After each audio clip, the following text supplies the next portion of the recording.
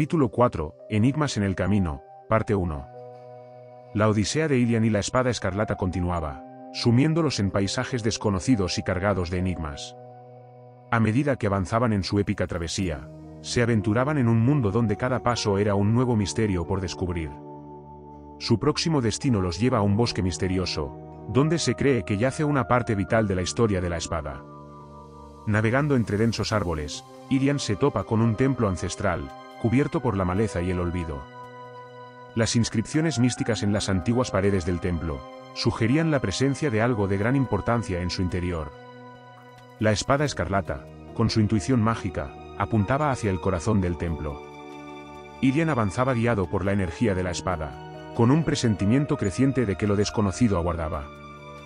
Los sonidos que rodeaban a Ilian eran un eco constante de crujidos y goteos, como si las paredes desgastadas del templo estuvieran susurrando secretos olvidados. El ambiente era frío y tenso mientras avanzaba con cautela hacia el centro del templo. Una amplia cámara se reveló ante él, y en su centro, un altar emanaba una luz brillante que iluminaba toda la estancia. En el altar, un resplandor dorado rodeaba un objeto que brillaba intensamente. Este objeto era una pieza metálica reluciente que reposaba sobre una losa de mármol. En el borde del tabernáculo, se podía ver una placa con una enigmática inscripción que decía, Aquel valiente que descifre este enigma será digno de poseer esta pieza de la armadura. Las palabras parecían vibrar con un poder ancestral, y la espada escarlata zumbaba en respuesta al desafío. Irian se sintió intrigado y desafiado, listo para enfrentar el enigma que se interponía entre él y la valiosa pieza de la armadura. Ante el altar resplandeciente, un enigma ancestral se alzó en todo su esplendor. Para obtener la pieza, la mente debes agudizar con destreza. Cuenta los rayos de la luna en el cielo nocturno, luego suma las estrellas, un número exacto. Este número divino, tan antiguo como el tiempo, abre el camino a la pieza en este templo sin dueño. Pero ten cuidado, pues el error no tolerará, y en la oscuridad del olvido, tu valía quedará. Irian, de pie ante el altar resplandeciente, miró fijamente la enigmática inscripción en la placa de mármol. Las palabras del enigma giraban en su mente mientras la espada escarlata zumbaba con anticipación. Ante el altar resplandeciente, un enigma ancestral se alza, murmuró Irian, reflexionando sobre las palabras del desafío. Para obtener la pieza, la mente debes agudizar con destreza. Mientras miraba hacia el cielo a través de una abertura en el techo del templo, Observó las estrellas que brillaban en la oscuridad. Comenzó a contar los rayos de la luna en el cielo nocturno, lentamente, uno a uno, hasta llegar a un número preciso. Luego, contó las estrellas, una por una, asegurándose de no dejar ninguna sin contar. Sumar las estrellas, un número exacto, murmuró Irian mientras hacía los cálculos en su mente. Al fin, cuando tuvo el número total, miró nuevamente la inscripción en la placa de mármol. Sus dedos temblaron ligeramente cuando lo escribió en un espacio designado en el altar. Este es el número que he encontrado, anunció, con una mezcla de emoción y anticipación. Las palabras de la inscripción parecieron vibrar con un zumbido suave, y el resplandor dorado alrededor del objeto en el altar se intensificó.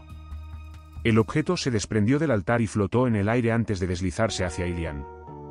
Con cuidado, Ilian aseguró la pieza en su lugar, y la espada y la armadura se fusionaron en una conexión mágica más profunda. La pieza de armadura encajaba perfectamente, un protector de pecho ornamentado que le otorgaba una mayor protección y confianza. Con la nueva pieza y con mayor confianza, avanzan por el bosque. Pero su viaje los lleva a un desafío aún mayor, cuando se topan con un grupo de brujos y brujas que se reúnen alrededor de un caldero humeante. Los brujos, sedientos de poder, desean apoderarse de la espada escarlata para sus rituales oscuros. La batalla que se desarrolla es un espectáculo de magia y astucia, con hechizos y maldiciones volando en todas direcciones. Irian y la espada luchan con precisión, utilizando tanto la fuerza física como la magia que fluye a través de la espada. Los brujos y brujas conjuran tormentas y criaturas fantasmales para enfrentar a Irian, pero él y la espada resisten, desplegando rayos y llamas que hacen retroceder a sus enemigos. La espada escarlata emite un resplandor rojo intenso mientras Irian lucha con valentía, y en un estallido de poder acumulado. Irian y la espada escarlata desatan una descarga mágica, que envuelve a los brujos y brujas en un vórtice de energía deslumbrante. Los hechiceros son arrojados al suelo, incapaces de mantener su magia. La tierra tiembla con la fuerza de la explosión mágica, y un silencio tenso se cierne sobre el campo de batalla. Lentamente, Irian se levanta, aún sosteniendo la espada escarlata que resplandece con un fulgor más intenso que nunca. Los brujos y brujas, derrotados y sin poder, son testigos del poder que reside en la espada escarlata.